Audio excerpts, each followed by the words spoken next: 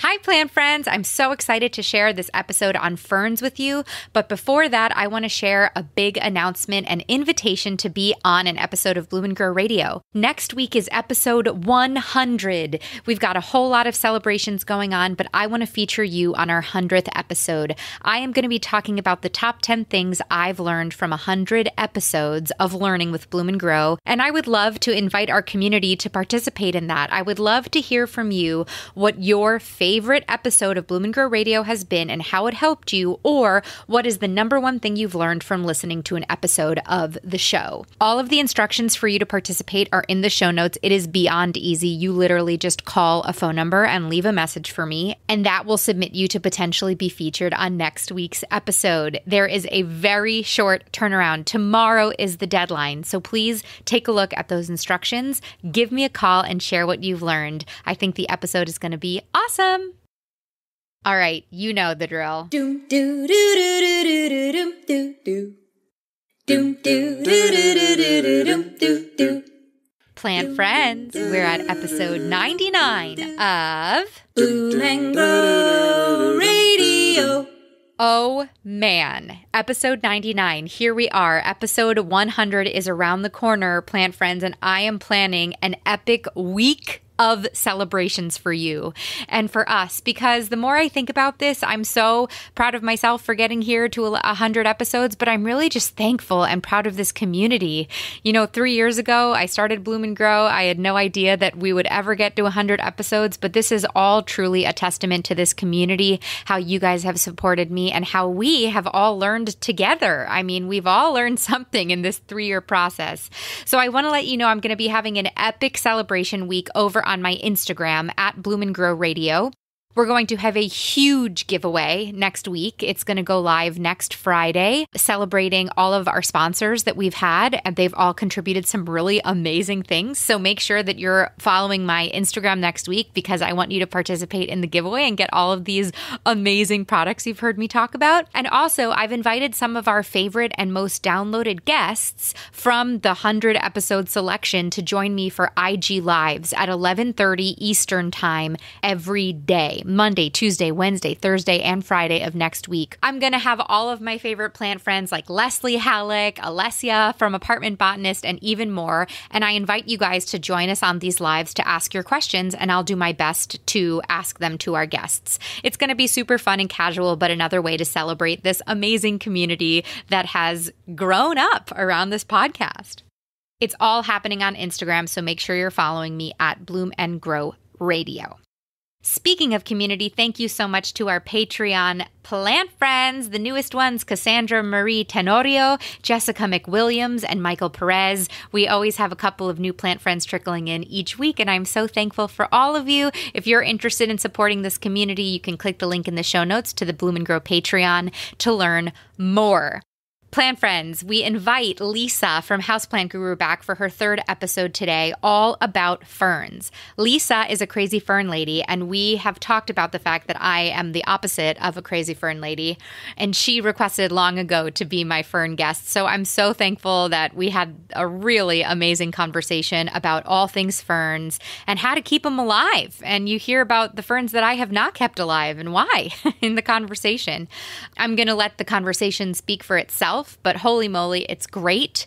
And we talk about a lot of different types of ferns and some several links. So they're all linked in the show notes, including the link to Lisa's new book, Houseplant Party. So I'm keeping the intro short and sweet. Check me out next week for the celebration. Make sure to call in and share that. I would love to hear from you if you want to call in and be a part of the 100th episode. You only have 24 hours left to feature it. I've been emailing you guys all week about it. So, last chance, final reminder if you want to be featured on the 100th episode of Grow Radio to share your favorite episode or your favorite lesson learned, please check out the show notes for instructions and give me a call and leave me a message. All right, let's get ferny. Thank you, Territorial Seed Company, for sponsoring today's episode. Territorial Seed Company is a family owned and operated business that's been offering tried, tested, and successfully harvested seeds and plants for 40 years. They are no joke, plant friends. Territorial Seed Company aims to enable gardeners to be more self sufficient, providing everything necessary to grow bountiful and healthful, delicious food year round. And when they say everything, they mean everything because they have over 2,000 varieties of vegetables, fruits, herbs, and flowers to choose from. So, plant friends, I know spring gets all the hype for outdoor gardeners, but did you know that in most regions, fall is an amazing time to harvest delicious vegetables and other plants that you can harvest later in the fall or even over winter and harvest next spring? Territorial Seed Company has the only fall winter seed catalog that is focused on growing cooler weather plants. They specialize in this, they know what they're talking about, and they carry a special selection of vegetables and herb seeds that are perfect to start in the summer or early fall and harvest in the late fall, winter, or even overwinter. So these plants include brassicas, root crops, lettuce, and green onions, and every Italian's favorite, garlic. So, plant friends, did you know that you plant garlic in the fall and then you overwinter it and then you actually harvest it that following spring or summer? Territorial Seed Company is known for its garlic selection. I think they have over 20 varieties. And after learning this, the Italian in me is so excited to try growing their garlic for the first time this year. What impresses me about Territorial Seed Company is that it's run by gardeners and farmers that have a deep and intentional commitment to their community to supply the best, most hardy seeds for their customers. They have a 75 acre certified organic and biodynamic research farm where they assess all the seeds and plants they sell for robustness, vigor, taste, and nutrition. And they actually produce 25% of the seeds that they sell on their farm. And then for the other 75%, they grow and test all of those other seeds before offering it to our community. They sell us what they would grow themselves in their gardens, and that is awesome. All of their extensive growing information and products like those fall seeds I was talking about, as well as their online garden planner, how to videos, links to their active social media, and more are available on their website, territorialseed.com. And if you check them out right now, they're offering listeners 20% off with the code BLOOM20. So head to territorialseed.com and check out their amazing educational offerings and seeds. I'll be growing their garlic and order something new to experiment growing this fall. Why not, right? Once again, that's code BLOOM20 at checkout at territorialseed.com. Territorialseed.com and stay tuned till the end of this interview where I'll be sharing the Territorial Seed Fast Fall Gardening Fact. Okay, here's Lisa. Welcome back to Bloom and Grow Radio. Thank you. It's so nice to be here. Lucky number three. We had to take a minute offline and figure out what other episodes we've talked because I feel like you and I chat every couple weeks. So it's funny to remember what we've formally recorded together. Right. African um, violets. I couldn't remember that. so, for Bloom and Grow listeners, Lisa is joining us again for her third time on the show. The latest episode she did was an amazing review of African violets. And then also the low light, the very popular episode on best low light plants and how to deal with low light apartments and homes. So, I'm so excited to have you back, Lisa, because I am thinking a lot about ferns right now, just personally because my wedding bouquet is going to be all ferns. Oh. So I have a big fern inspiration board for my wedding. So I've been feeling more connected to ferns lately and also am a really intense fern killer. Just composted. I had a Boston fern for three years and I had kind of brought it to the brink of death and resuscitated it, brought it to the brink of death and resuscitated it. And actually, was kind of like amazed at the resiliency of this fern because I feel like everybody thinks that ferns are so finicky, but this fern kept dying back, growing back, dying back, growing in. But I just composted it. So I hope that this conversation will get me inspired and get our community inspired to start caring for ferns again. Good. I love ferns. I don't know if you read my blog, maybe you've read about my great grandmother's fern that my mom received on in 1957 at her bridal shower Right. And then I got some in 1984, when, 85 when I got married. And then I just gave a piece of it to my daughter in 2018 at her bridal shower. So we've had this fern. My mom's had it. I have her original now because she's not able to care for it. But I've had the same fern for mine for 35 years. So That's so beautiful. she's had hers for over 60. So it was great grandma's. We don't even know what kind it is. It's some sort of Boston fern, but it has the regular fronds on it, you know, that just have the leaflets. It looks like a regular Mhm. fern. And then it has really, really more different on the same frond. It's really crazy That's two amazing. That is like the classic heirloom plant story. Wow. And to have that additional wedding tie, that's so beautiful. Thank you. Please shoot me that link and we'll put the link to that blog in the show notes so people can Okay. listen and see the pictures of it. So I know that you've loved ferns. We've talked about that before. So let's just dive right in here, Lisa, and talk about why people get so scared of ferns and ferns have been labeled as being such finicky plants. So, can you kind of dive into why they're such an issue for people? Well, I'm going to be right up front and say I have killed my fair share of ferns. Believe me. Mhm. I think I'm on my fourth maidenhair in like a year. and I'm on crispy waves. I've killed those. So it's all a matter of you cannot let them dry out, in my Mhm. opinion. They have these really fibrous root systems that are kind of sensitive. And when you take them out of the pot, it's kind of weird to see if they're root bound because they're brown roots usually. And it's hard to see, actually see them. They just like look like they're part of the potting medium. But you've got to keep them watered. And I would have to say, I don't really raise the humidity too much. Like, Mhm. you know, I say they need a lot of humidity because they come from places where some of them, the tropical ones, it's 70% humidity. So they would like raised humidity. So you could set them on pebble trays. I have so many plants grouped together. There's lots of humidity where they're at because I have so many plants. And I think that also, like, everybody's like, I can't believe you have a Boston fern. You've had it for so long. Mine drops the front, you know, the little leaflets drop all over the floor.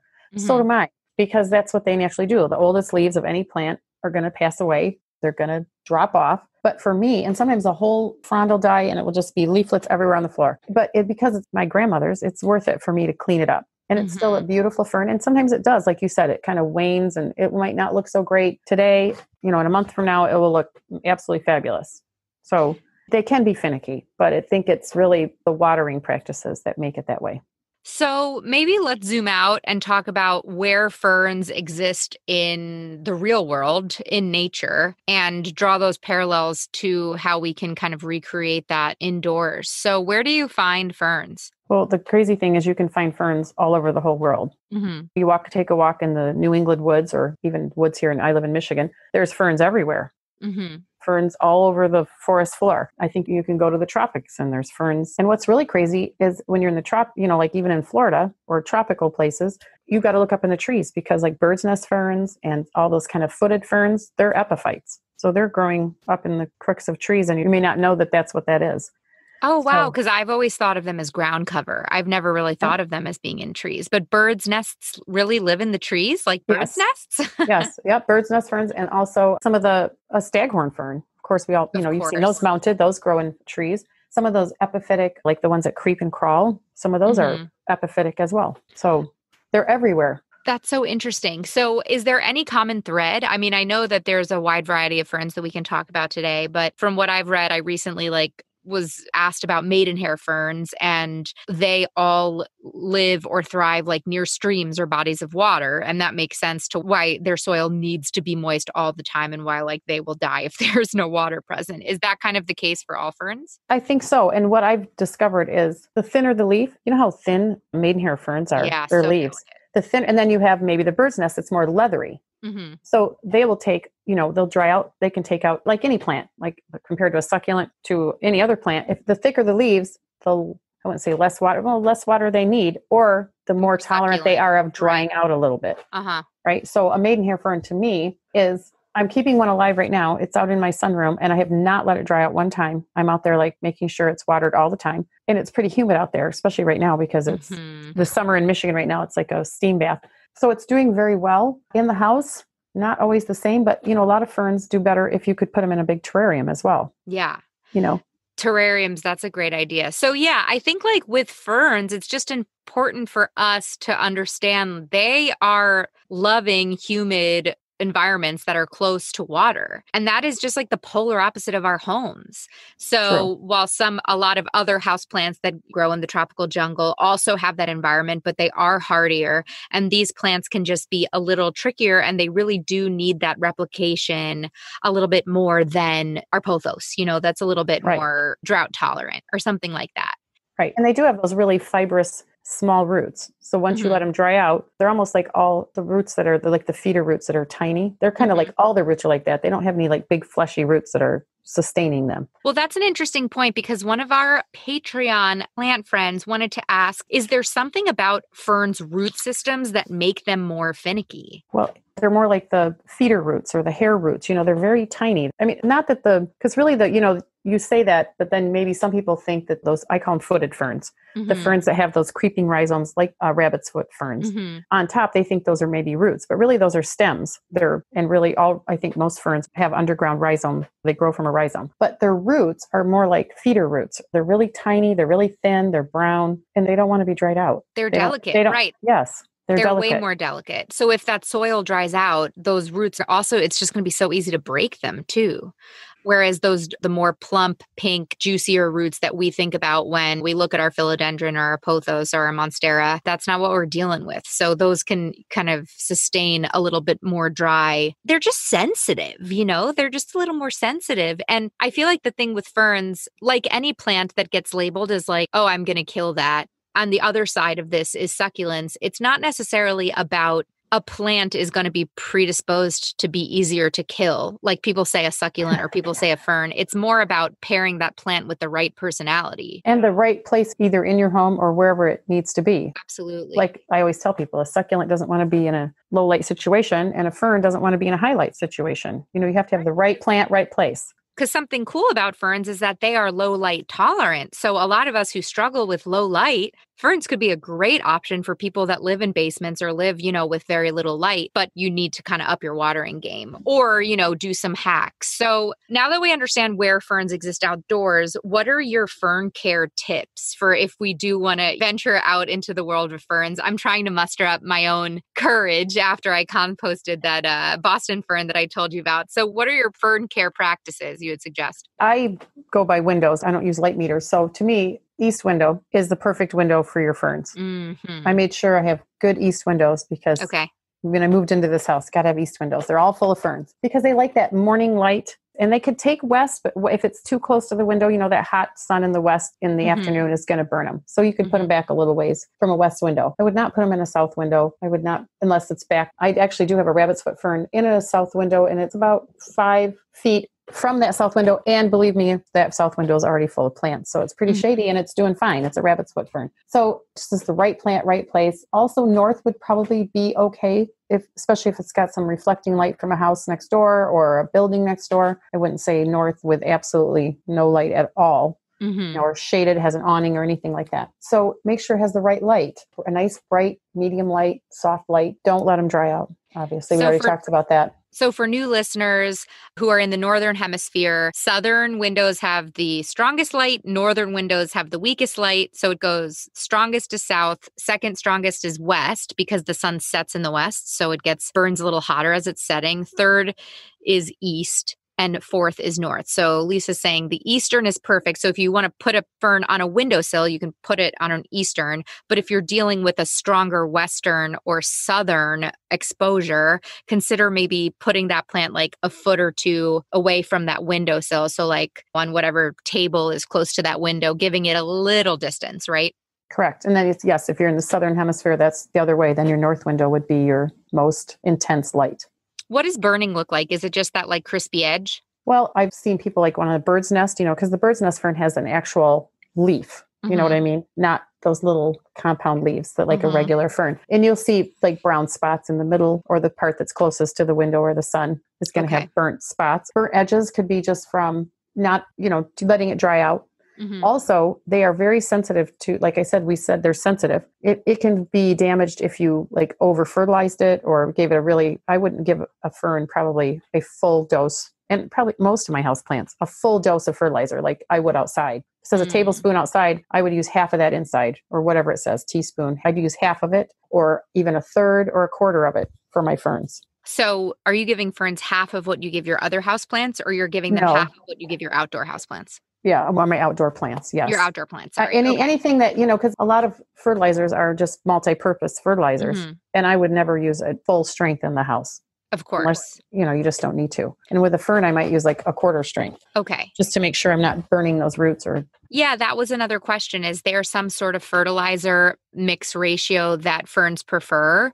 We have a listener question. Is there a generic mix to go for? Is it specific to types of ferns? Our listener Anne. You know, I've always just used a 20 20 20 okay. because we own a, garden center. So we used to be Jack's Classic. Now it's called Peters Professional. It's comparable to like Miracle-Gro because as a small garden center, we don't carry Miracle-Gro. hmm You know, we carry the independent. So I don't think you have to buy anything that's specific to ferns. I think they probably ask that because, you know, when you go to the store, there's cacti and succulent fertilizer. Mhm. And it has a lower nitrogen. And then I've never looked, I guess. I've never seen anything just for ferns. I just use a Yeah. 20 20 20 straight across the board. And then you weaken it for all I of your houseplants. Yes. I use a Espoma Organics liquid indoor fertilizer. So it's designed to be weaker than the outdoor fertilizer Oh. and it's liquid. It's so easy. And I use that on all my houseplants. So I put that when my fern was thriving. That's what I, that's what I should was try that. I haven't tried that, but I should do that Oh, they make it so easy. The because I love. Espoma products. Yeah. We carry all those as well. Oh, that's awesome. Shout out to Espoma. Yeah, you know, all, all the tones. They yeah, have like rose tone, flower tone, all Yeah. those. We carry all those. They've we got it all. They're the by them. Yep. Okay, so with ferns, so let's talk about watering. So the soil must remain damp. Yes, I would not let them dry out. So, what are your watering hacks? I mean, this is interesting because it's reminding me of our African violet conversation where you were suggesting those self watering pots. I tried this self watering crystal. It was like a glass thing that was in the shape of a crystal that you filled with water and then you put a cork in and then you put the cork side on the soil. So, apparently, the water was supposed to move through the cork onto the oh, soil. Oh, never tried that. I don't know if it didn't work or so I was using it when my fern died. I don't know if I really was neglecting that fern pretty bad. So I don't know if it was that the water ran out and then the fern dried out or if it was that the water just didn't work. But what are your watering hacks for your ferns? I just water them by hand, but I have seen where people use the self watering pots, and I'm thinking maybe I should because those are usually I've only seen them used for violets, but I don't know why that probably would work well for ferns so that it would never dry out. Mm-hmm. So I'm thinking that would probably be a, be a very good good, way idea. to do it. Yeah. But I don't know if I'd use the wick. I, what you're talking about is kind of like those, you know, the balls that have the Mm-hmm. glass Like a balls. that- watering self-watering, them. yes. Yeah. yeah. I don't know about that. Maybe that would work too. But I definitely think the wick watering would work great because Yeah, that way those- you never, you'd never let it dry out as long as you keep the water filled, the water Right. reservoir filled. That's the, that's the key. those wick watering things are interesting and i feel like for me i struggle there because i like to check in on my plants like i would rather just water the fern every day because i like to check in on my plants even if i don't check in on them every day. I'm for the most part you know i have this personality test. It breaks down everybody into five different plant parent personalities. I'm for the most part a mindful plant parent but i'll have a week that i'll kind of forget. And so I like to generally water. The issue with these self watering pots I personally am running into is I fill the pot up and then I forget about it because it's self watering and then I don't check it and the water's been dried out for like two weeks and the plant is dead Oh. because like the self watering pot is made to be low maintenance. But because all my pots aren't on that schedule, like I forget about the one self watering pot. Do you know what I mean? Oh, I would too. I Yeah. forget about a lot of things. Yeah. As long as you keep it filled, Yeah. that's a great idea. But I just, Uh-huh. you know, I make sure that that I don't leave them standing in water or anything. Mhm. But like my Boston, those big Boston ferns that I have that were mine, you know, my mom's and mine, they're huge and they Right. take a lot of water. right. But what's good is that plants like that, I don't know if you've ever noticed with ferns, you can kind of look at them and see if they're dry. Like Mhm. I can glance into one's in my one of the bedrooms upstairs and I walk by it when I go down the stairs and I look over and if that fern is translucent, Mhm. it's a mint green, you know, it get- turns a lighter green. I'm like, Mhm. oh no, it's really dry. And thank Oh, goodness so it's forgiving. colors change. Definitely. Yes. Okay, so as the plant starts to pale, that's a sign. Hey, you better water me. Definitely with ferns for sure. I can tell. I mean, I walk by, I'm like, oh no. And it takes, I could probably give that a good almost a gallon of water. That's how much water it drinks. So it sounds like. Do you think you can overwater a fern? Yes, because there's not a plant that's being grown in potting medium or soil that wants to Mhm. stand in water because then the roots are getting no oxygen Mm-hmm. because it's so full of water. So, yes, you can definitely overwater or kill a- fern with water. You can't just leave them If sitting you let in it water. like sitting in like a Yep. pot of water because you need that oxygen. But at the same time, if you're watering responsibly, you can probably give a fern. If you want to be a mindful plant parent and you want to have a plant that you water or like nurture every day, you could give a fern like a little bit of water every day, every other day. Now, that brings up what do you think about misting? I know a lot of people talk about misting, but misting does not. I think it's been proven you'd have to mist something every 15 minutes, 24 hours a day to make it worth Mhm. your while. And I think it leaves too much. Once it dries up, it's gone. Mhm. So I think the humidity trays or a humidifier is completely constantly giving it moisture. But also, if you leave water sitting on the leaves too long, Mhm. maybe you are going to mist it a lot. It could set it up to start growing some kind of disease, right. gray mold or botrytis, or just kind of the same thing, fungal spots. I just don't. I don't use mist at anything. I never have. Yeah, I like misting just like for fun. Like if I yeah, want to just I do like tell give people my that if plants it's- some right. TLC. Yeah, and it makes you feel good, and Yeah. it's nothing wrong with as long as it, it dries out. You know, But so yes. as long as it's not sitting on the leaves a lot. Yeah, and I think more effective for increasing humidity, like grouping some ferns together, grouping your plants together to create a little microclimate or using a humidifier is probably the better way to like if you're trying to mist to increase humidity, I think those are better suggestions. I personally like don't really get the pebble. Did you say that you do the water with the pebble rock tray? On some plants, I do, and I don't just set it on the pebbles. Let's say you have a plant in a four inch pot with a saucer that's proportionate, so a Mhm. four inch plant saucer. Then I would use like a six, eight, or 10 inch bigger saucer that's Mhm. filled with pebbles, filled with water up to the top of pebbles. And I set that saucer on top of the pebbles, not just set the plant so that there would be a chance of it actually standing in water. Does that make Mhm. sense? So it's two saucers. So this hack for people who haven't heard of it is there's one of these common like garden things that people have been talking about even in the plant care books from the 70s that I used to read is you put your potted plant on a layer in the base tray. You put a layer of pebbles and you cover those pebbles up to the brim with water and the thought is that water is going to slowly evaporate and create a little microclimate of higher humidity around your plant and I feel like people have different opinions about it. And what Lisa is saying is instead of doing that, you're actually putting another saucer on top of that pebble tray and then the pot on top of that to prevent potential root rot with having Correct. that pot stand in water. That's really Correct. smart. Yes. And then also give them a shower. hmm if you can. You know, I have a lot of plants, so I don't move them all to the shower. But all my bedroom plants get put in the shower just to get the dust off. To get, I have cat. I use all my cat hair off it, and it just really refreshes them. So especially ferns, you know, if you want to put them in, give them a nice shower once in a while, put them in their sink with a sink sprayer. They're going to love that. I'm such a fan of a plant shower, especially too just for getting the dust and cleaning the leaves. It's Yeah. especially a plant that has a lot of leaves. It's just the easier thing to do. Yeah, I mean, it's easy to go to wiping all those leaves down. Yeah. If you have a fiddle leaf fig, you may not take you long to wipe all those big leaves, but if you had a fern, that would take you Exactly. That's where I'm really sold on the process. Yeah, and you'd be surprised to know that ferns can also get like I've been fighting mealybugs on mine, hmm and they're sensitive, so you really can't spray them too much. Mhm. You know, like I wouldn't go out and buy some huge insecticide and spray my well, I don't with any of my plants, but you'd have to use a systemic because they're pr- kind of prone to getting scale too, brown scale.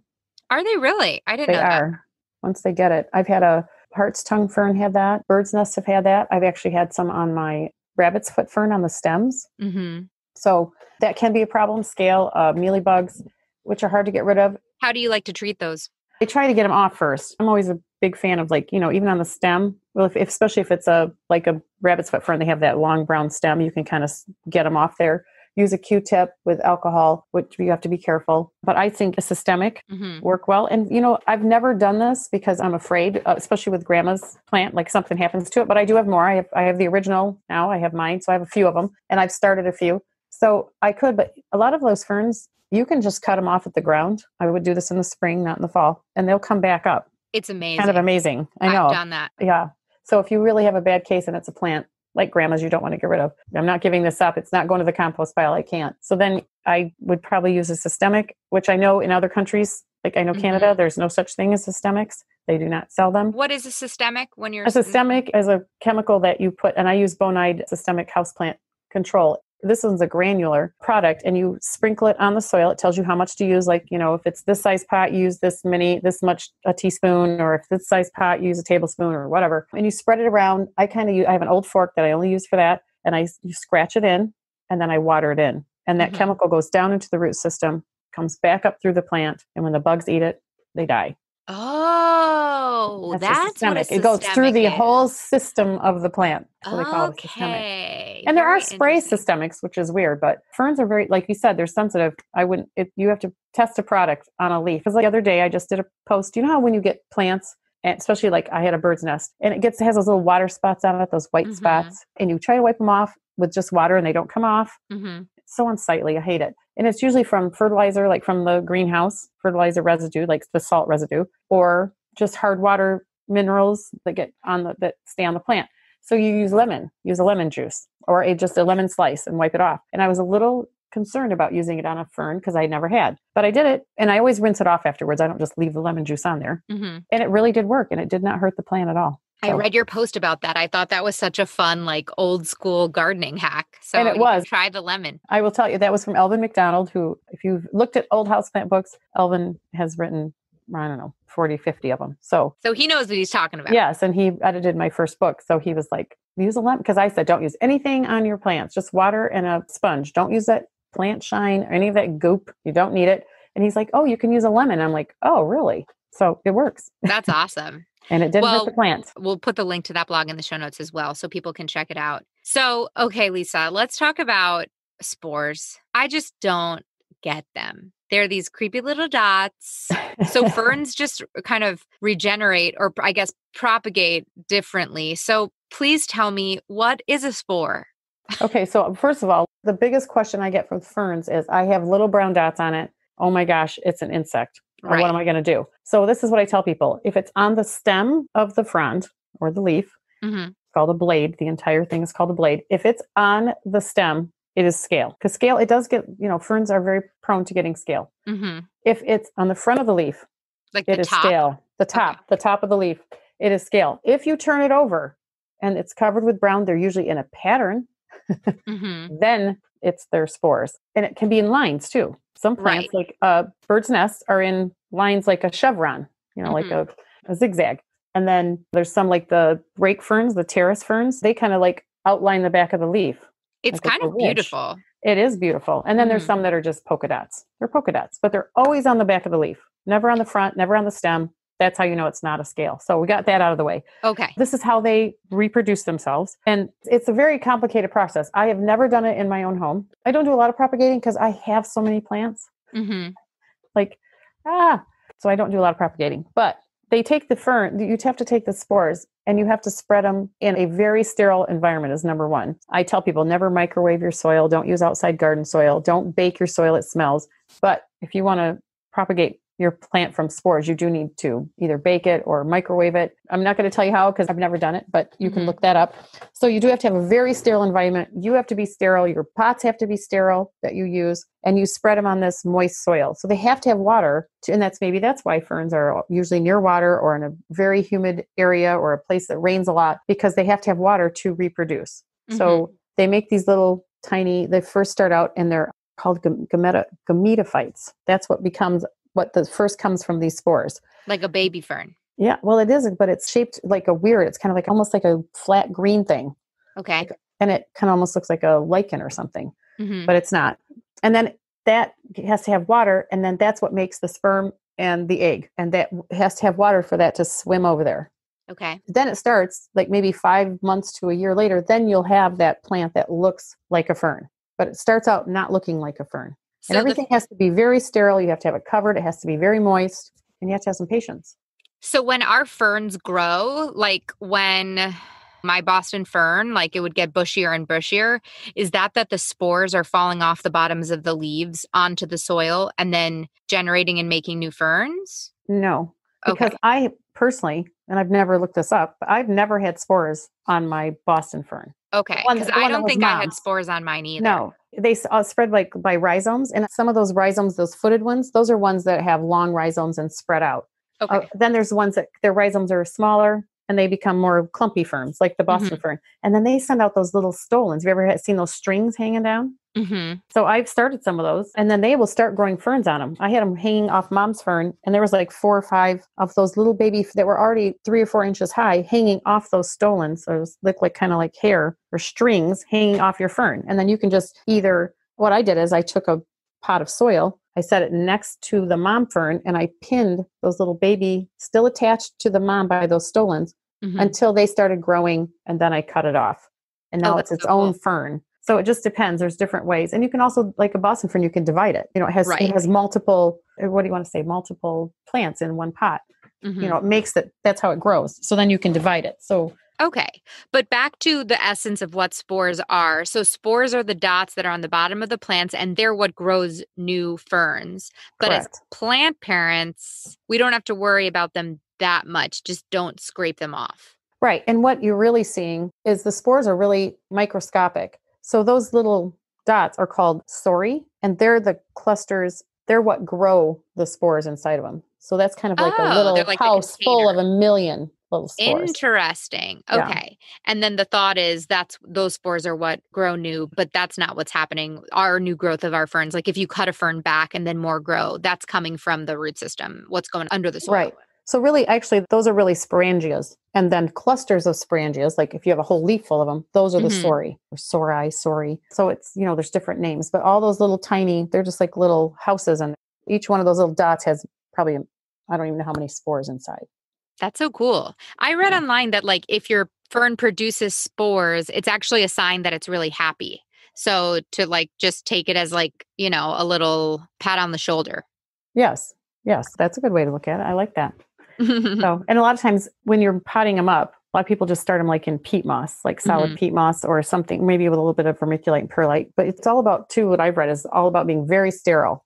hmm It has to be sterile to get that to work, which then you think, well, outside it surely isn't sterile, but hmm you know, that's nature doing its thing. Right. Inside, we have to do it differently. Well, that's funny you bring that up because I feel like things that happen in nature naturally that like we try and replicate inside that are so hard. Like you talk about spore generation. There's that hysterical meme that's like trying to keep a maidenhair fern alive indoors. Like I spritz you every day. I have the humidifier. I'm watering you every day and you still hate me and you still die. And then like the other side of the meme is like a maidenhair fern growing out of like a crack in a rock, like Yeah. needing nothing and Nothing. thriving.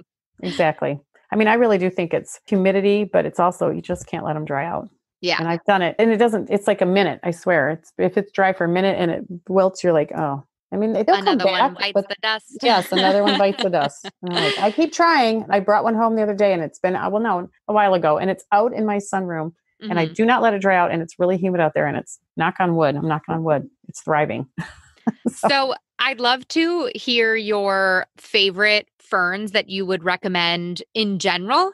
And then I'd love to ask you a couple of different plant parent personalities and what fern you might pair with them. okay. So, what ferns do you think make great houseplants? So the fern that I wrote about that I have, and I said it's, and I actually named the blog Fern for the Fern Challenged, Mhm. is the Austral gem fern. Okay. It literally looks like plastic. Okay. I mean, it, well, of course, it looks like a fern, but it's just like so shiny and kind of rubbery. And I have dried that out. It is whoop, down and drooping, and it comes right back. Okay. Now, it may have some brown fronds on it or some ends because there's, I tell people there's always consequences to everything, something that you do wrong, right? Mhm. Or, you know, you've let a plant dry out. There's always going to be consequences. That's what I say. So it does give you a little bit of brown fronds, but it comes right back. And it's crazy. It doesn't need watered as much as the other plants because it really just feels like rubber. You bring up a good question. What do you recommend with brown fronds? Like just chop them off and trust that Yeah. more will grum- come in? Because I've gotten them on the ends of my bird nest ferns and stuff too. And I always just trim them. I don't just trim them, cut them off straight. I try to trim my leaves whenever they have a problem. I try to trim them the shape that they were before. Mhm. So I kind of do that rounded edge. But yeah, just cut them off. Oh, that's, That's cool. fine. I mean, or leave them on. It's up to you. I mean, I would like almost kill my Boston fern and it would be like 75% brown. And then I would just cut off all the brown parts and then like all this new green growth would grow in. That's I why I'm it. like, I don't know if they're that. I mean, yeah, they're hard to keep perfect looking, but they're actually rather hardy, or at least some are. I'm not talking about maidenhair ferns, but you know, a lot of people have Boston ferns because they buy them outside for their porch or their Mhm. what, and they get so full and gorgeous, and it's so hard to throw them out. So they bring them in, and I tell them when you bring a plant in from outside, outside and it's coming from however many thousands of foot candles to your maybe 100, 200 foot candles in your house. So Mhm. I just say that because I don't measure them, but I'm just saying that's what it is outside. And you bring them in. A plant is only going to keep the leaves that it can sustain with the light that it is receiving. Mhm. Whatever light it's getting, that's all the food it has to feed itself. So if it can't feed itself, what's it going to do? It's going to drop those Drop those leaves that it cannot support. So Mhm. it seems like when you bring in a big old fabulous Boston fern and it has 20 million leaflets and then 1,999 million of them end up on the floor, Mhm. you're like, oh, forget it. But it's just, you need to acclimate it. But you also have to realize that I like to start with them inside and leave them inside. My mom's fern's never been outside. So it's used to my situation. It's used to where it's at. It doesn't move and it loves it. You find the place a plant loves, I leave it there. I don't take it outside and bring it back in. I don't know if you watch Will and Grace, but they have the most epic Boston fern in their apartment. And every time I watch the show, I'm like, that fern must be fake because that Boston fern looks so perfect. And sometimes you can tell when there is a brown leaf. So then you know, because someone will Mhm. say, is that a fake leaf? And then I'll walk up to him like, well, they make them so realistic now. Mhm. But it doesn't have any brown leaves or brown edges, so it can't be real. yeah, so funny. It's too real. But it could be, you know, and they could just switch it out every Well, time. s- Go buy a new Boston fern and put it on the set. Totally. So you mentioned the Australian gem fern. That's one that well, sounds austral. It's just called austral. Oh, A U S T R A L. Austral gem Sorry. fern. I had the botanical name. It is an asplenium. Let's put a list in the show notes, but the austral Okay. gem fern sounds like a Yep. great fern option for like more of a low maintenance plant parent. Yes. Then for the mindful plant parent, plant parent that wants to, you know, water every day, give it a lot of TLC. Obviously, maidenhair comes. yes, that rotten maidenhair fern. the rotten maidenhair. oh, but and a button fern. A button fern. Oh, those button ferns are so cute. That's the one that's Pel- Pelea. P- I don't know how to say it. I'm not very good with these Mhm. Latin names. P E L L A E A. Mhm. Rotundifolia. That's the one. But there's also the lemon button fern, which kind of looks like it, but it is actually a nephrolepis. It's actually a, in the Boston fern family. So, So there's it's a two little different. hardier. There's lemon button fern and there's button fern. And I found those both the button fern and that one. You better not let them dry out. I have killed many a button fern. Okay, so those but beware of the button ferns. So those Yeah. would be perfect for a mindful plant parent that wants to look at them every day. Yes, every day. You know what I do with my plants that need water every day? They're right by my sink, underneath the counters, under lights, which my husband can hates it. So smart. I have lights underneath my cupboards, so little smart. aquarium lights, and I those are the ones that. that. I'm right there watering a sink, and it, so even if they faint or they're a little You bit know. dry, I'm always at the sink. Right? You Right. See there at least ten times a day. You're not going to miss it. Oh, that's so smart. What about for our curious collector plant parents, people that like to collect like more unique? Everybody talks about the Boston fern, the bird's nest fern, staghorn fern. What's like a kind of more unique fern that maybe not everybody has? Like something that comes to mind for me is that like bear's paw, rabbit's foot, whatever those wacky Yes, ferns are. I have all of those. I love those. I just got some. I was at the Northwest Flower and Garden Show, and Andy's Orchids was there, and I brought home ferns in my bag. I'm like, I have to have these, and they were weird ferns I'd never seen before. Mhm. So you can find them out there, and but they're in an aquarium upstairs. I'm not letting anything happen to Mhm. those. But you know what I, is out right now, and it's out in the and I saw it two years ago at the Tropical Plant Show. It's called the Nicholas Diamond Fern. okay. It's a cross between a phlebodium and a pyrrosia. It is so gorgeous. It has roughly leaves. It's just that's a really great fern to look for. And it's my daughter saw one at Lowe's the other day. So they're out in you know it's not something you Mass wouldn't be able to find. I got one at a garden, an independent garden center, which I suggest everyone go to first.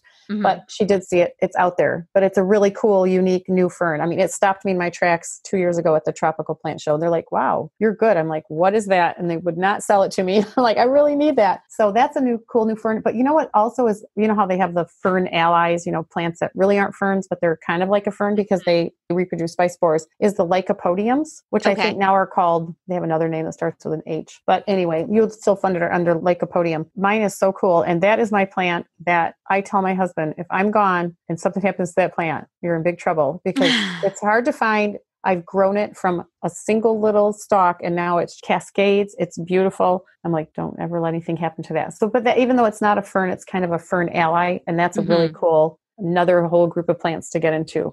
Yeah, like you say, the big bear's paws ferns are really cool. The kangaroo so- fern. I like all those footed ferns. Yeah, I like that you call them footed ferns. You know, Mhm. they're I didn't even realize they were ferns because they almost look like they have a little stalk with then this big leaf that looks like a paw. I mean, I've seen them in Trader Joe's now, like in Whole Foods and they're pretty well circulated as well, but they're gorgeous. Some of them almost Yeah. have like a blue undertone to their Yeah. leaves. The blue star one, that's really pretty. Oh, they're it's also called like a bear paws too. So are those more hardy or those need the super super humidity too? Oh no, mine do well. Some of them are have thinner and more delicate leaves, kind of like the rabbit's foot. But some of them, like that big bear's paw fern I have, I mean, the bear's paw or the rhizome, they're really rhizomes. So above these are modified stems that the fronds come out of.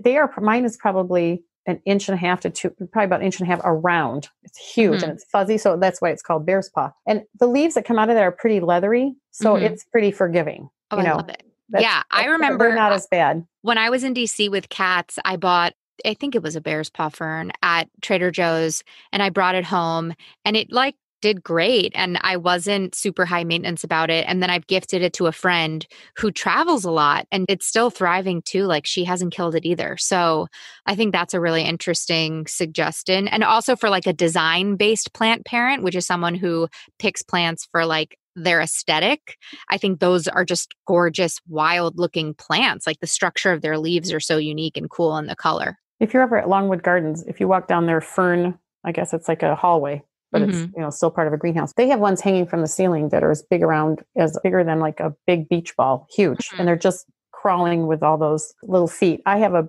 rabbit's foot fern that has wrapped itself around the pot, and I had it sitting next to my like, kitchen table, and my sister-in-law turned around and literally like jumped because she thought it was a tarantula.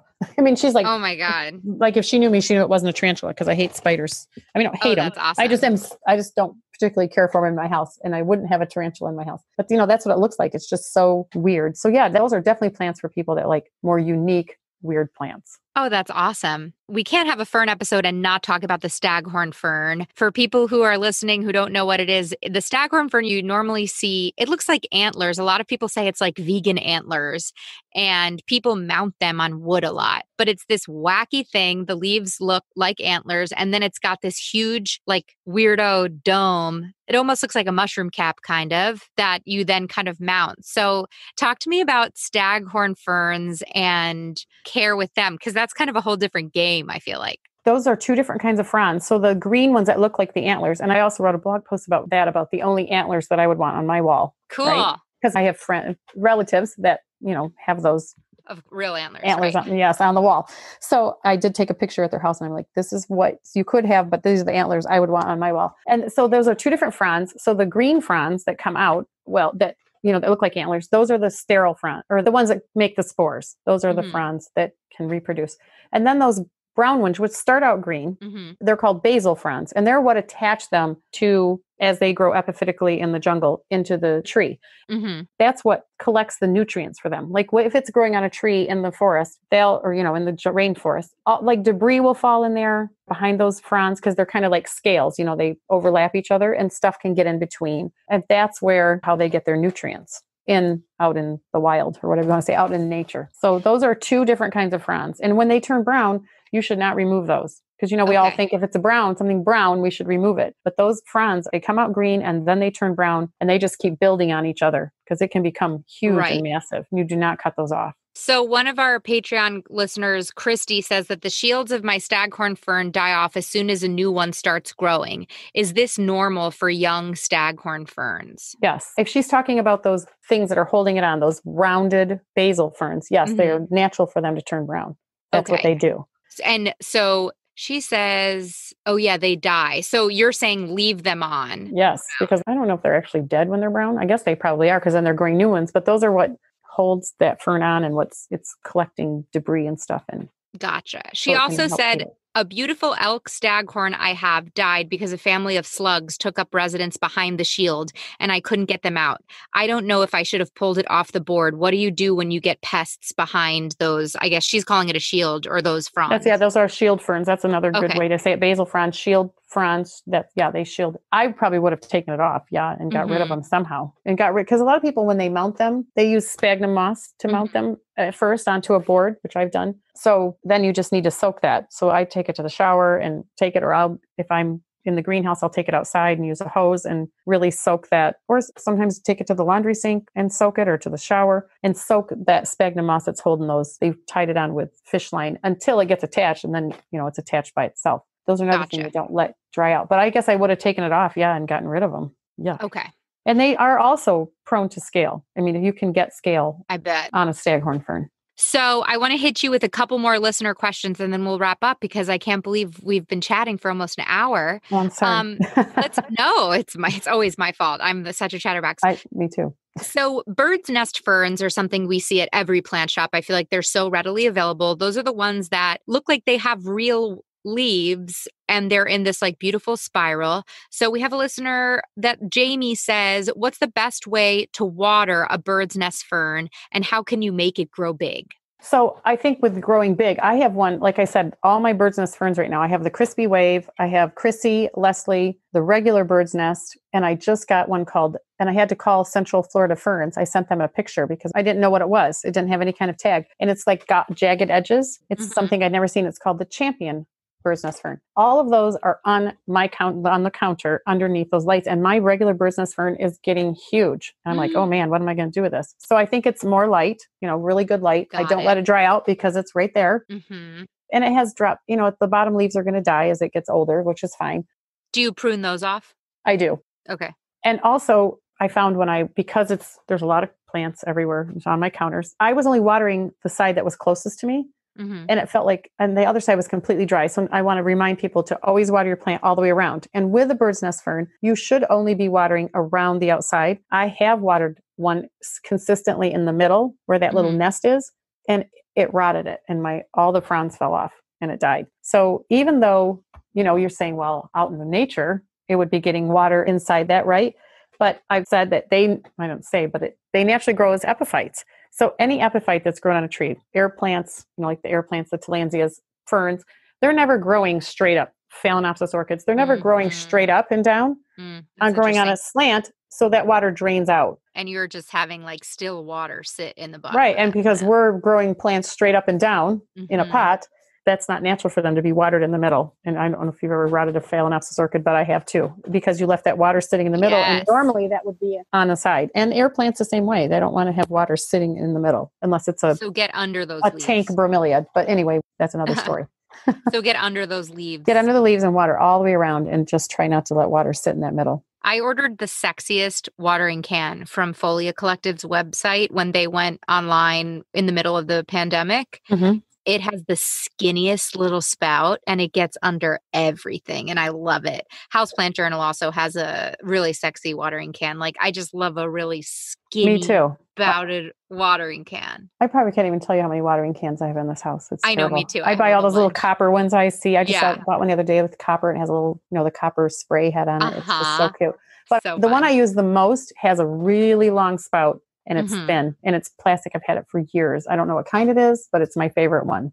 And it, yeah, because you can get way in with the plants. That's awesome. One of our awesome Patreon listeners, Michael, wants to know he just got his first tree fern, which he's so excited about. And he's wondering how can he propagate tree ferns? I've had a tree fern. Don't let that dry out, Michael, or it will be gone. They don't ever want to dry out. And actually, I've read that even their stems want to be like they. You should miss those. They like the stems don't want to dry out mm-hmm. because they grow in like New Zealand and Australia, and it's Right. naturally humid or whatever they Super going on. But I would wait for offsets. I think I don't know another way Okay. to propagate that. Like wait for it to make Grow- babies and then Growing off. cut it apart. Yeah. Okay, cool. And then one more tips for raising a tiny Asplenium bulbiferum hen and chickens fern. The baby Yep. spawns on the fronds. I've tried propagating in potting mix or sphagnum moss, but they die and don't root. What am I doing wrong? I've a packet of fern spores. What's your advice for growing fern spores? Well, we talked about the fern spores. You have to put them in sterile medium, cover them up, put them in a good light, but not full sun, and wait for those little gametophytes to hmm start growing. And it And then- sounds like it's going to take a really long process. So you might, Well, it can anywhere from six to months to a year to get a. That's what I read to get a fern. right. So, So, that's buckle a up. But the Asplenium bulbiferum, I love that. It's called the mother fern. And if you've ever seen one, it looks like a kind of a frilly fern, and then little babies grow along the fronds. Mhm. and eventually they'll drop off, you know, in nature and start growing. So I've had people give them to me before and I've killed them too. So I understand. But I finally got one to grow and I have one right now and I should do a blog post about it. I started it in a little tiny jar because they're little tiny, these little bulb bulb bulbils. I don't know what they're exactly called. They're just tiny little babies and they have like a little bulb on the bottom. I put it in the jar and I closed the lid Mhm. and like a terrarium, I grew it in a terrarium and now I've moved up to the, you know, those enormous pickle jars. That's Mhm. how big it is right now. Oh wow. So what's So, and- what are your tips for that? It's to grow it in a terrarium, some In kind of enclosed little jar. Yep. Because I tried it and it, yes, especially when they're that little. Terrariums are a great idea. I am very curious. I want to challenge myself to try maidenhair ferns. I've never had one before. I'm really interested in trying it, and I think I'm going to try it in the terrarium route. I think that's the way to do it. Mine's doing well, but like I said, it's right now it's like in a great big terrarium because it's out in my greenhouse and it's Yeah. humid here in Michigan, like dripping wet. So, Right. and I haven't let it dry out. So it's We'll doing really well. Yeah. Well, plant friends, tell us what you want to challenge yourself with and what ferns you end up getting and tag me and Lisa, Lisa's houseplant guru on Instagram, and let us know what ferns you grow after talking about this episode. Before we go, you have a new book. Lisa, I so do. tell us about your new book. The links for it are going to be in the show notes. Everybody, I know we have so many members in our community that have bought Grow in the Dark, your book on low light house plants. You have amazing recommendations and several ferns in there. So, what's this new book? Tell us all about it. The new book is called Houseplant Party. Okay, so it has a small amount, like 15 or 16 plants, but then it has a lot of projects. cool. And we're doing some recycling projects. We're macrameing. We're making different kinds of plant hangers for your plants, plant shelves, air plant, air plant shadow boxes, all kinds of fun things. How perfect for this moment of quarantine. People are home and they need some Yes. planty DIYs to do. Yeah, and they're they're really geared to well, they're geared to anyone. I mean, anybody can do them, but I think they could go as low as you know, if you have a really crafty young 10, 11 year old, I they could certainly do many of the projects in there, even the younger, probably. Oh, that's so fun. Well, I can't wait to check it out and do some DIY projects from it myself in my new home because I've got a lot of new space for my new for more DIY projects. So I can't wait to check it out. The link will be in the show notes. And where can everyone find you? You have so many amazing blogs. I'm on your email list. I read your blogs when you send emails once a week. So where can everyone find you to keep learning from you? Anything the houseplant guru. So Okay. my website is thehouseplantguru.com. I'm the houseplant guru on Facebook and Instagram. So anyway, Awesome. you can find me. Cool. Go tell Lisa hi. And I can't wait to have you back for episode number four that we do together in uh, sometime in the future. Thank you, and good luck on your new move and your new home. How fun! Oh, more boy. places for plants. I know. For more ferns, we're trying More again. yes. Thank you so much for having me. oh, thank you. Thank you, Lisa, so much for all of that amazing info. It makes me want to go to the garden center and buy every fern. Like I said, I think I'm going to try a maidenhair fern. Once we've got one more move to make, we're in temporary housing. So once we get settled up, I think I'm going to try a maidenhair fern in a terrarium. And then I gifted that paw fern that I was telling about, but I really liked it. So I think I might find another one. You can find Lisa, like she said, at Houseplant Guru and check the link in the show notes to buy her new book. That DIY book sounds like so much fun, especially for all of this isolation moments, all of these social distanced moments.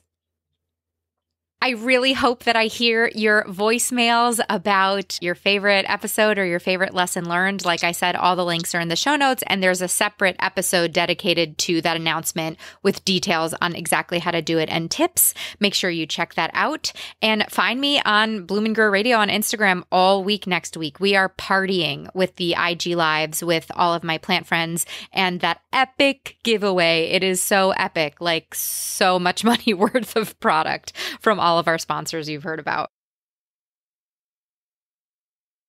Thank you so much to our Patreon plant friends. I'm so thankful for you to be supporting the show. And I am really excited to be actually announcing next week some extra fun stuff that we're going to be doing with Patreon this year. And thank you to Territorial Seed for sponsoring today's show. So, Territorial Seed Company and I came up with a really fun thing at the end of the episodes they're sponsoring. We're going to offer you guys a Territorial Seed Fast Fall Gardening Fact.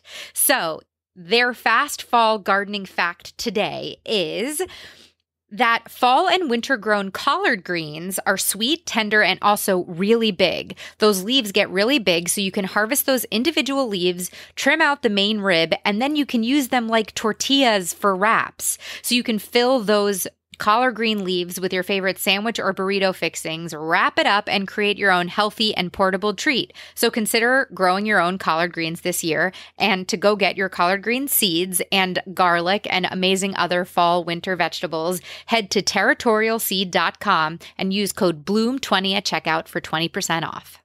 Plant friends, the next time you hear my voice, it's going to be at our 100th episode. I'm so excited. It's going to be a big party next week, like I said. So I can't wait to celebrate you and celebrate with you all week next week. Until then, keep blooming and keep growing. Plant friends, thank you so much for tuning in today. If you like what you heard, make sure you are subscribed to the show so you never miss an episode. And while you're making sure you're subscribed, why don't you head on over to the review section of whatever podcast player you're tuning into and leave us a review? I would greatly appreciate it. If you are interested in more fun and educational planty content, well, plant friend, I've got a whole lot for you. Subscribe to the Bloom and Grow YouTube show, which is my YouTube channel where I bring you along for my personal plant journey, as well as share informational content that pairs with our podcast episodes. Follow me at Bloom and Grow Radio on Instagram for behind the scenes, sneak peeks at upcoming episodes, my daily planty lessons and thoughts, and most importantly, tune into my Instagram stories where I am constantly talking with you listeners and plant friends and polling you for content ideas. And I'm always interested in seeing what you're loving these days on Instagram. Join the Bloom and Grow mailing list and get a free download of the Molly Mansfield Keep Blooming print that she created exclusively for our community. And if you can, support Bloom and Grow Radio by becoming a plant friend on Patreon. For as little as $4 a month, you not only help me bring these planty and informative episodes to thousands of ears around the world, but you will also get the super secret planty password to our exclusive Bloom and Grow Radio Garden Club Facebook group, which is a wonderfully active group of plant friends of the Bloom and Grow Radio podcast who make up what I like to call the plantiest corner of the internet. It is a lot of fun over there. And as always, my sweet plant friends, I am here for you. If you have ideas for episode topics, guests, or if you're possibly a business interested in sponsoring the show, reach out to me because I am here to help all of you keep blooming and keep growing.